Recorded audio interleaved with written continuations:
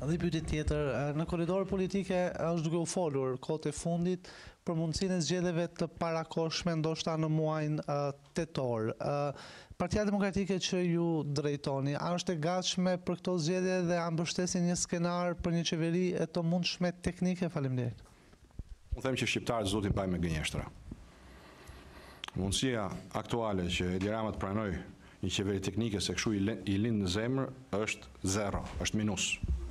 Opozita shqiptare për arsyet që dihen dhe i kam bërë edhe subjekt konferencave tona i kemi bërë shpesh, nuk është në gjendje të imponojë për momentin një qeveri teknike.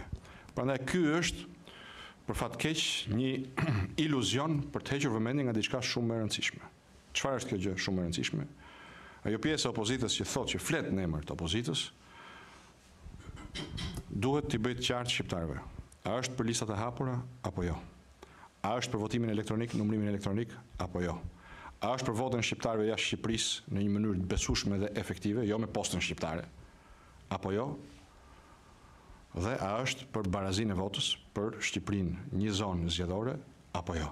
Këtu nis serioziteti i çdo komponenti që i thotë vetes opozitë për t'i dhënë shqiptarëve të paktën në ligj disa garanci, ndërkohë që janë garanci të tjera që kanë që prej dy mijë e njëzet e dyshit në Komisionin e Reformës Zgjedhore, që ka të bëjë me shitblerjen e votës, ka të bëjë me keqpërdorimin e burimeve shtetërore, ka të bëjë me presionin ndaj administratës, ka të bëjë me patronazhistët, ka të bëjë me gjithçka të evidentuar tashmë nga OSBE ODIHR-i si krime elektorale të përsëritura për herë të fundit në në nivel parlamentar në zgjedhjet e 25 prillit 2021.